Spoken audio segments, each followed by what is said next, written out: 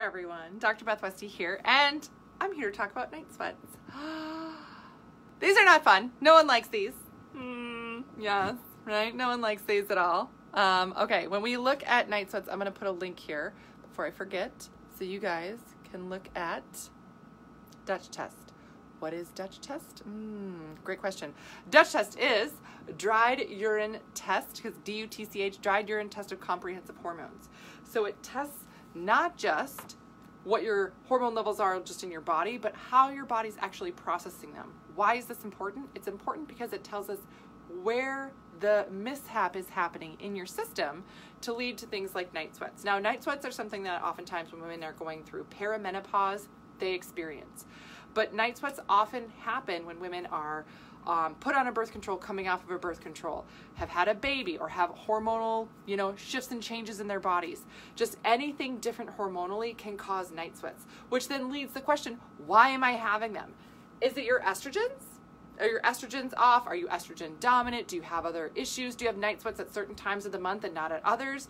Or are you going through perimenopause or, or have you been in menopause for five years and still having night sweats? Oh my gosh, what is it, right? So the key is figuring out what is the thing to help with night sweats because just doing like a general thing or just taking like a general supplement doesn't always target the thing that's off in your body or your system. So when we look at uh, Dutch test here, and this is why I love Dutch test, because it looks at not just, and this is a sample of it, you get your estrogens, progesterones, testosterones, cortisol levels, right, and so much more. And it tells us exactly which one it is and then where this is going off. So here's an example of things that can help you narrow it down and where to put your focus so you're actually seeing something happen that lets you know you're on the right track. If it's something like your estrogens are off, you're estrogen dominant, um, your system's going through perimenopause, estrogens should drop first. But if you have too much estrogen and your progesterone drops first, or those things are off in your system, right? It, it's a, it's an estrogen problem.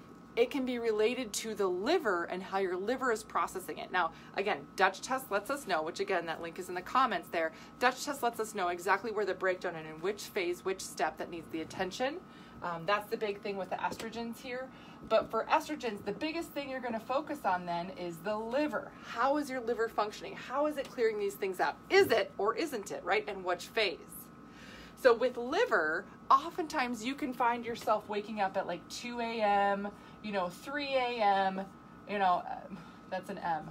I'm writing too fast. Um, 2 a.m. or 3 a.m experiencing night sweats. You're like, yeah, oh, I mean, I might not wake up every single night. It might be related to my cycle or it might be related to just different phases or something, but I'm waking up around this time. That can be liver, right? That that's something that's related. Okay, now I know I need to target liver, I need to target my estrogens or work on my hormone balancing, maybe layer in more seed cycling, make sure you're being consistent with that. Um, if you're not sure what seed cycling is, I have a ton of info um, on that. I've done videos on that. My YouTube channel is called Dr. Beth Westie. Um, you can subscribe to that to stay updated on all the videos I have, but great resources there. But again, realizing, okay, that's that might be the estrogen piece, that's the liver. Oh, cortisol. Is it cortisol, right? These, you know, hot flashes, night sweats can happen um, anytime, right? Anytime, all the time, all the things. Yes, this means that you you could wake up an hour after you fell asleep drenched, right? Drenched. Um, you know, again, do you still need to focus on the liver here too? Oh, I wrote liver down here too. yes, but also if you're not paying attention to your stress levels, I meant to write stress down here too. Um, stress levels. Stress, right? Is it liver or is it stress? And sometimes it's both, right? But if you're not targeting your stress levels for the cortisol, right, then you're not actually going to make an improvement with this.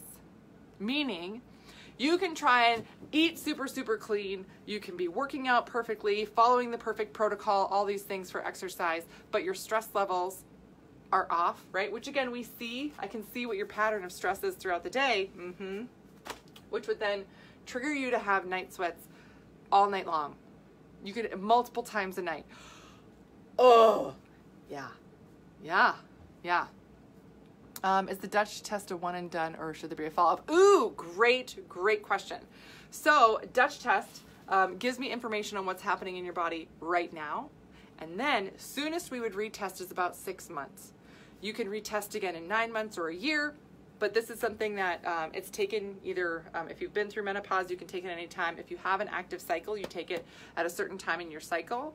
So then that lets us get the information, start working on it, and then in about you know six month time frame, I'd know that we'd be you know at a point where we could test again and see where these levels are at, or see what other corrections we would need to make. Yeah, great question. Um, but again, so often with night sweats, if you Google it or something, they're like, oh, take this for night sweats, blah, blah, blah. And if you're like, yeah, that didn't help me at all. That didn't help. Yeah, because you're probably, what if you have problems with both?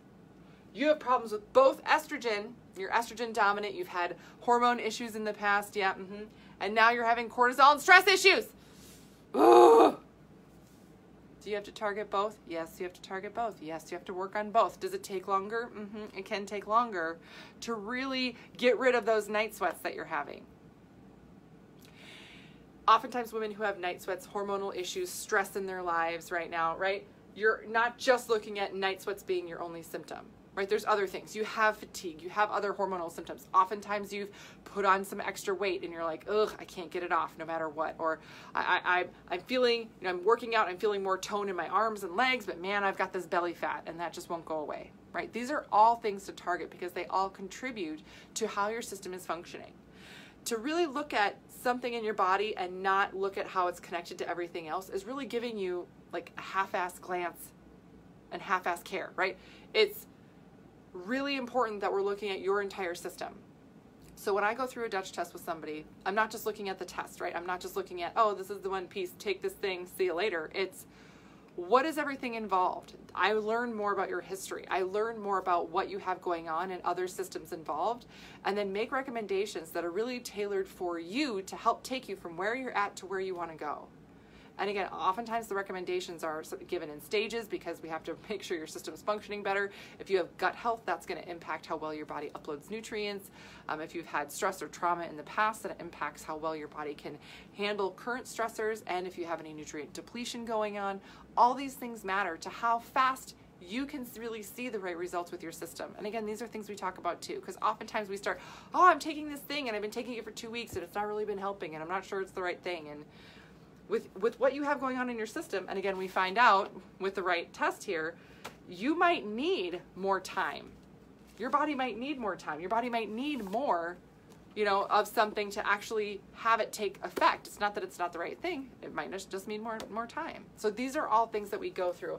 And again having this information gives you so much more power to realize okay these are the things that are the right next step for me. So that's what I got for you guys tonight. Please let me know if you have any other questions. Other resources I have for you, of course, are my podcast, which is called The Female Health Solution. Um, tons of great episodes coming out there, uh, some fantastic interviews as well. And then my books, I have my book, The Female Fat Solution. This is on Amazon. And then my book, The Female Menopause Solution, also on Amazon great resources that talk a lot about not just nutrition for hormones and cycle, but nutrition for women in menopause, but also overall health recommendations, exercise, everything. So let me know what questions you have. I'm here as a resource for you. And if you found this helpful or know somebody that needs this information, please share this with them because the more women that know this information, the more that you can make steps in the right direction for you. All right. Have a great rest of your night, and I will see you later.